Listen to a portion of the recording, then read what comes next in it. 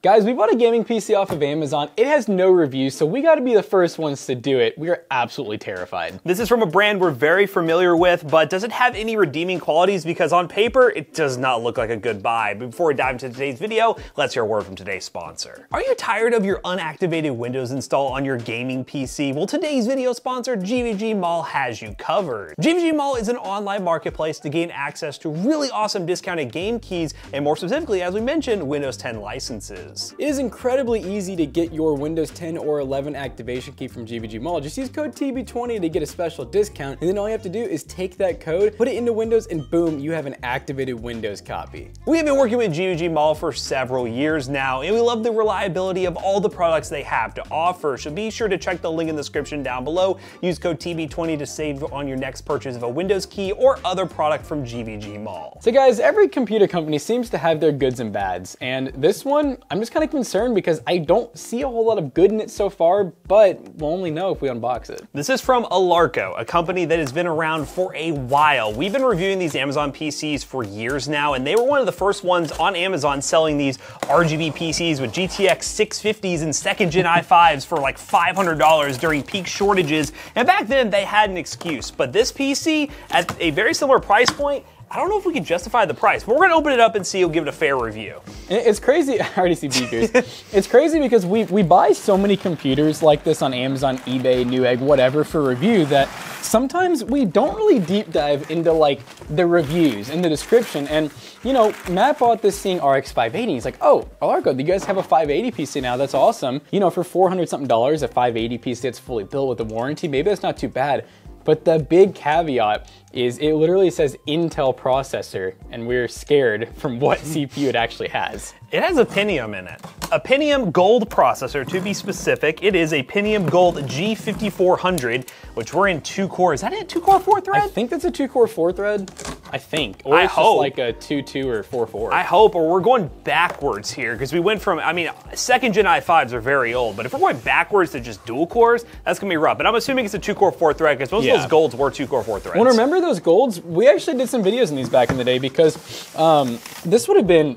It's funny because this is when they were new, back in like six, seven gen territory. They had some kind of cool redeeming factors, like they were overclockable. At least a lot of them were, Yeah. and you could overclock them really high to where they were actually like halfway decent for the 50 60 dollars you had to spend at the time. But how and why they're using them now, I I don't know. It's a weird choice. Normally, I again, we've seen so many pre-builds with like second, third, fourth gen i5s or i7s, older Intel CPUs, but I've not seen a pre-build company go the Pentium route, and they still have the exact same graphic. This has been around the same since the last one we bought. It's the same settings. These aren't really even valid anymore because I don't think any of these options are there anymore in Fortnite. This is old Fortnite. Yeah, and, and to be fair, I mean, this PC didn't have any reviews, so for all we know, maybe they're not selling much of them, so it doesn't really matter. Uh, we might be their, their first customer in a while, for all we know. But I mean, part of what we do here is obviously benchmark it. We got a game, because for all we know, maybe this Pentium's not that bad. Maybe they know something that we don't, that it's actually good pairing. Uh, and obviously, we have to check the build quality, because of course, this is sort of like a lot of money on paper for these kind of specs. Yeah, when we're in the era of STG of bronze selling computers for $300 with at least like 580s or 1660s or um, those office PCs with RGB added to it, and they deliver much more value, like RTX 2060s. And we're talking around the same price point. We gotta figure out why a custom built computer with a 580, which is a 580, but I'm already seeing a glaring issue on the sticker on the graphics card, and a Pentium processor. We just gotta see what they're doing here. How is this making sense? So one thing, we'll have to go back and look again. The title does not say RX 580 2048. Because it is an 8 gig 580, I am already thinking it's not a real 580. I'm thinking it's a 2048, which is basically a 578 gig. Which there's nothing wrong with those cards, it's just not advertising it Yes. actually being there. And I will say, I am triple checking this Amazon listing right now. The title says video card RX 580 8 gig, which for someone who knows would think, oh, that's an RX 580. And then you scroll down to the description where it showed the Pentium processor and it still says video card RX 580 8 gig. And do you see what the sticker says? It's definitely a 2048, as you can see right here. And it's a definitely a mostly like no name brand one from what I can tell. I don't see any labeling on it. Now, one thing I am noticing that's kind of interesting, almost like everything in this is B-Gears branded. Um, we'll have to see what the power supply is, but we have B-Gears fans inside of the B-Gears case. We have a B-Gears Intel stock cooler. Um, the RAM is Golden Memory. Golden memory. yeah, it's a single stick of, really? Is it 16 gigs or do you know? Uh, I believe it was 16 gigs. Okay, yeah, so single stick of 16 gigs. Build quality, not bad. I mean, cable management's not amazing. Like, they definitely could have, I mean, literally, look at this. I can hide that. Yeah, they definitely could have cable managed a little better. They could have ran this cable through here with the CPU. Same went down here, if Jonah can see that. Definitely a little bit of cable mess in there. I mean, but it's at least a nice case. It has tempered side glass and everything, so that's pretty cool. Let's go and open the back of this, because I want to know what power, oh, is that a PV? Is that Montech or Pevia? Or is it Gombius? Is it none of the above? It's definitely a That looks familiar a logo. Pevia, I think. It might be like their Captain series. Yeah. I'm not super familiar. Might be able to see it on the side. Can you tell? Can almost see it. We have a light. Yeah, see, we can shine bright like a diamond. I don't know Spirit if we want to look that up. 700 watt doesn't look like it's rated. It could be. It could be white. So we think it's a Pevia, a Pevia Spirit. Spirit seven. Yep. So it's a 700 watt power supply. What line is that from? Is that? Oh, is it There's Spirit yeah. line? So uh, a Pevia has their SP700 or Spirit ATX power supply. I will say it's a 700 watt power supply with no ratings, Very and they sell overkill. them for $36 on Amazon right now. You might as well just get a 500 watt, like 80 plus bronze. You know what I mean? Like Yeah. something like that. Yeah. Well, I mean, eh, here, the, here on the channel, we are ones who preach like, hey, all these power supplies are not bad. They have a purpose. Yeah. But definitely with 700 watts, you could get a better value, lower wattage power supply for this build. Yeah, but I mean, cable management, build quality, nothing looks glaringly bad. I mean, it's a decent little, well put together build. Now the motherboard, because it's not really an OEM, but I'm trying to figure out if it's like a cheap. It doesn't look like a cheap aftermarket either. I don't know. It's like all black though, so I don't see. It could be. It looks very, very new. We'll show Jonah the motherboard It does look again. new, so yeah, it could just be like a rebrand. It just it, whoever did it didn't do a bad job for sure. Like it doesn't look like one of those AliExpress boards or anything, but cheaper board. And um, what generation? So what is this? A G fifty four hundred? Yeah, so G5400, uh, just for an idea, this processor back in 2018, when it was released, was $64. $64 CPU. Um, it is a two core, four thread. It is 14 nanometer, and I believe, let's see, what generation would this have been? 2018. It's DDR4, so we got 2400 megahertz. That's, So it's at least sixth to Seventh gen. is it seventh or eighth though?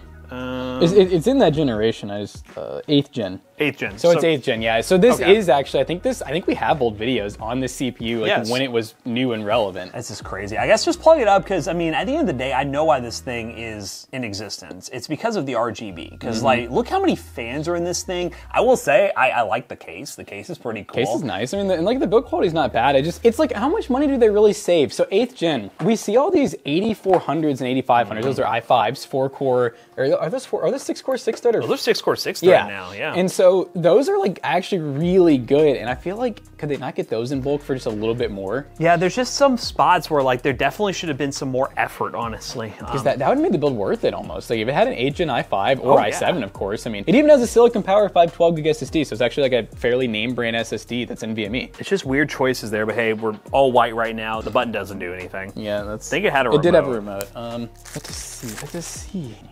The white does look bad, but hmm, you know, Purple's nice. Man, these fans are really nice for them being budget though. it- yeah, it's just, they are nice. I like them. Um, It's one thing these cheap companies have gotten so good at is, I mean, this like years ago, this would have only been available with like Lee and Lear and ZXT, or like you'd have had to spend like five hundred dollars in a case and fans to look like this. All the fans are exhaust, by the way, but with this build, I don't think it really matters. Um, the 580 doesn't run very hot. Did you know? Did you notice this? They put a has a GPU a, GPU support bracket. Why? It's the effort, man. Oh, they they my put in Lord. effort. I'm telling you. They put they put a lot of effort into the wrong areas. I feel like that's the best way to put it. Like being able to find the RGB wave mode. Jesus Christ. I mean, I guess I appreciate all the modes, B gears, but sheesh. Yeah, one's not bad. It's it's not like that one. it's not the usual RGB ring mode we like, but it does it does look pretty good. So we're gonna settle with that for now. So I guess I I'm curious, what can this Pentium do with a 580? And I think in esports titles it's probably gonna be okay, but I, it's been a while since I've tested a dual core processor. Yeah. And I don't know how it's gonna run like newer games. Like I mean, Overwatch 2, a game like that probably will run fine, um, but maybe it's gonna be stuttery. I don't know. It might have trouble in those esports because they do usually rely on the CPU for you know lower settings. So we might have to run like actually medium settings to get a good stable build, basically. So let's go ahead and install some games and see what it can do. All right, guys, we're playing some Overwatch 2, and I'll, I'm going to show you guys the settings in just a second uh, once I die, which will inevitably be very quick with how stuttery it is. I'm just glad I'm playing a tank. Imagine trying to, like, shoot people right now or something like that. Yeah, you can be very accurate. It is on medium settings though. We'll show you guys. Yeah, I went down to medium, which with a 580, it should have no problems. God. It's it's clearly that CPU. Yeah, man, this CPU is just horrible for this thing, dude. Yeah. Like, they, I mean, they shouldn't have even put a 580 with it, honestly. No, I mean you technically yeah could slap in one of those uh, 8th gen CPUs in there, but yeah, I don't know. Four hundred dollars. Do it be worth it, you know? Yeah, do be worth it. There's a certain certain. Oh god. I got I got Weaver orbed. There's a certain line of like when the RGB computers make sense and when you should just buy a refurbished office computer with a graphics card. That's that's the biggest argument here. There there is a line and we found it. You can see the problem. Look at the GPU CPU usage right now. It's at like 90% CPU. Medium to AP. Definitely like zero percent. Whoa! Yeah, the bottleneck is like definitely there. I guess it's not that side. Oh. Oh. Orb Weaver, quit it, little little Zorby. It's been a while since we've seen like bottleneck, like especially This from a is- company. You just know? yeah, this is pretty bad. Think. Oh, oh, oh. Look at these textures. you're loading in those in. textures. They're trying. A Rein. Okay. Ryan be Ryan. Here we go. I just let dude. This guy pulls me back and like I haven't even taken damage yet. He's like, I must save you. he comrade." really protects me. Oh, I'm taking. Oh Man. no. He's a smart Rhino. I'll give him that.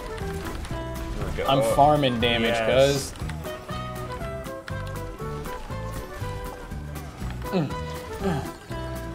I'll wait for you. Shall we hold them in spawn, gentlemen? solo, solo.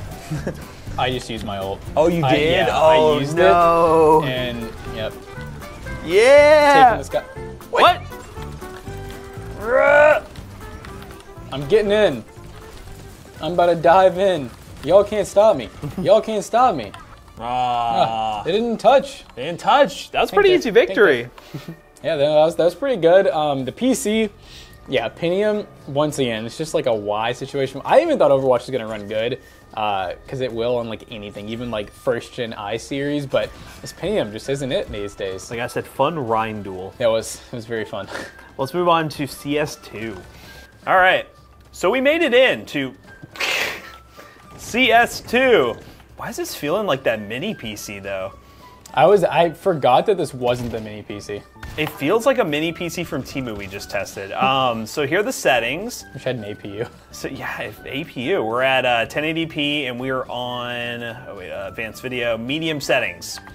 And You know, I almost think this build would perform similar to a 5600G build. it, it- it's pretty crazy. Oh, I, I got him. But yeah, this is just another example. Um, we'll obviously run some demanding games that I guess in theory you could play a game that would really stress the GPU more than the CPU, and maybe it'll give you a better experience because these are two pretty like rough examples of games that do use the CPU more than the GPU. But um, yeah, I just killed what? Yeah, not even getting 60 with stutters. Okay. Yeah, all right. Oh, and then I just get killed. Wow. Oh, wow. Zero. Uh-oh. Just happened. I'm back, though. That was weird. Back to it, I'm back. I'm back on it. I'm back on it. Sounds sounds all right. Right in the back. He wasn't even ready for it.